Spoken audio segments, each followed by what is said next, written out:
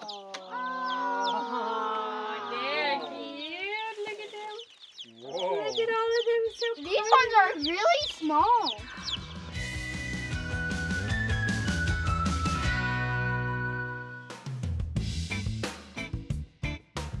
Hey guys, let me catch you up here. We had an insane, sort of like never been seen before in a hundred years kind of winter storm in our area. That was about two weeks ago, and we were in the midst of having to make some big chicken decisions because just a few days later we had like 29 birds coming to the house.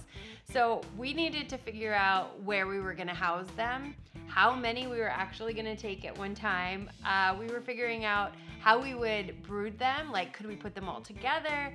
So we're sitting in the kitchen as snow and ice are literally freezing on the outsides of our house, thinking, okay, A, is this ever gonna end? And what are we gonna do to get these birds here? That's 40 chickens and 10 ducks. Do we have enough infrastructure to do all this? The answer is no, but doesn't mean we can't. They were meant to ship on the 24th. So that is in. Now, the good thing is, all we have to do is just get brooder infrastructure. That would be in a week and a half. Put down the comment down below can you brood chickens with ducks? I say yes. And can you brood chickens and ducks with bantam chickens? Okay, so I had this weird feeling that we were not ready for all of these chickens and the ducks. And it was so much so that I wanted to get with Morgan Gold from the Gold Shaw Farm YouTube channel on Clubhouse. I have are you I like Clubhouse. It's a cool new app. You like get to talk and we did chickens versus ducks the debate. And in that, it really wasn't a debate, but I was able to learn a whole lot from Morgan about ducks because he's the duck man. And he said, I would not brood mm-hmm. your baby chickens with your baby ducklings. That would be a big mess. Do you think the 24th, we should just say, send us the birds, we will be ready? Like, I'm always gonna be like, yes, let's figure out how to do it. I would say in the next 12 days, we can definitely build another chicken tractor. My question is always the other question is this the best way to do it? We need another chicken tractor so that we can have more meat birds. So, my thought is yes, that's the best. Okay, if you have to build a second structure, I say build the tractor. A second. For, for the meat. For yeah. a lot of reasons. Mhm. Even if we don't get meat birds this first round. And then I say, well, my next question is then where do the ducks go once they're done? Because that's the only thing that we're like, what do we do?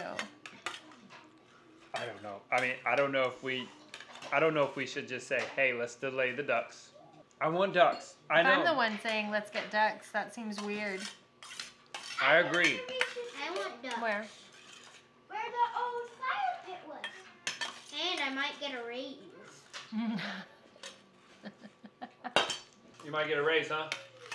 This is our first time raising pullets as laying hens. We are obviously new at everything here. So, like, firsts are not a new occurrence, they're like a daily habit for us. We got meat birds from Ideal Poultry last summer and I loved them. They were healthier and hardier than I thought they would be.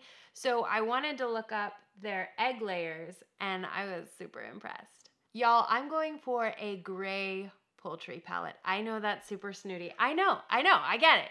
But here's the deal I envision like silvers and grays and blues, but in birds, like a rainbow of beautiful birds.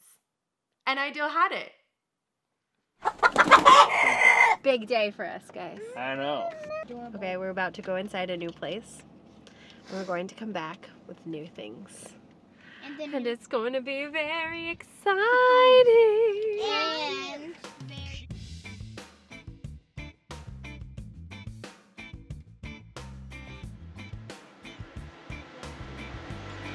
Always just one big one? Yeah. I oh. can hear it. Okay, remember they're little chickies. All right, so we got to take them. I guess we're going into. You don't want them on the front porch. There's no point in that, right? No, we have Okay. We have we have a space.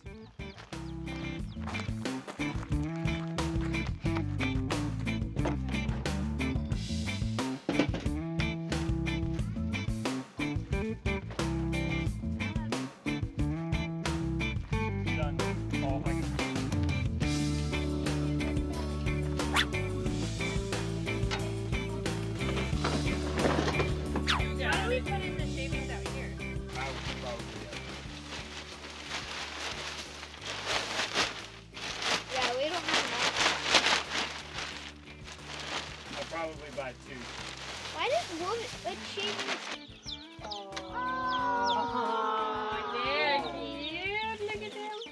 Whoa. Look at all of them. So These ones are really small. You guys, Look, they look, are at, Mom, look at this teeny tiny one.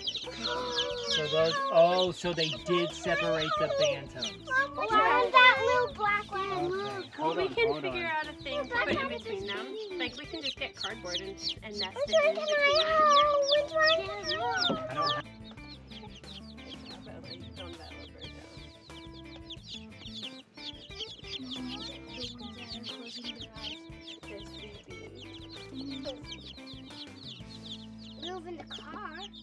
they want to be together. Look, one of those little guys are curious. Oh, yeah. Look, he's curious. Friend, what are you doing?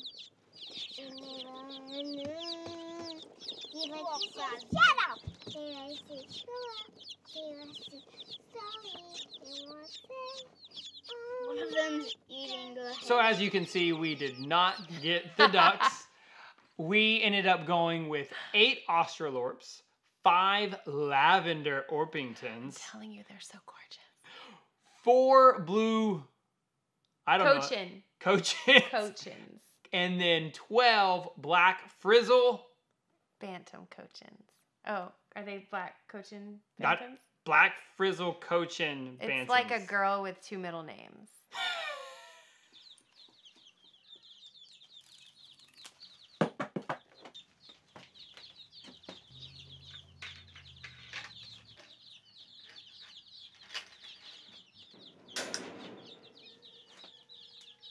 Yes, I know. Okay, little guy. Come here. Well, So I don't know if you can see that. One of the bigger chicks got in this and like couldn't get out. So now I know you got to use the smaller things. This is not gonna work for uh, a week or so. So I'm trying to think of like how to wrap this up in a normal way that gives you a sense of what it's like to do a lot of things for the first time and I think that's the nugget from any of this is everything that you see us do is like the first time of us doing it with the exception of the next chicken tractor we're going to build because we've already done it. But we only just did that a few months ago. So this is the time where you kind of get to see like what's your next first thing what's the next first thing that you're going to do for the first time because I don't know what's going on in your life, but now you've gotten a window into ours and a little behind the scenes of like me sitting in the kitchen stuffing my face as we talk about the next plans. So I don't know if that's crazy to ask you at the end of a video, like, what's your next first thing? Are you guys doing poultry? Are you still in the suburbs? Are you wanting to step out of what's normal for you and do something different? I don't know, but maybe that's a weird way to wrap it up, but it feels kind of right. You like it? Feels great. Good. Okay, we're done.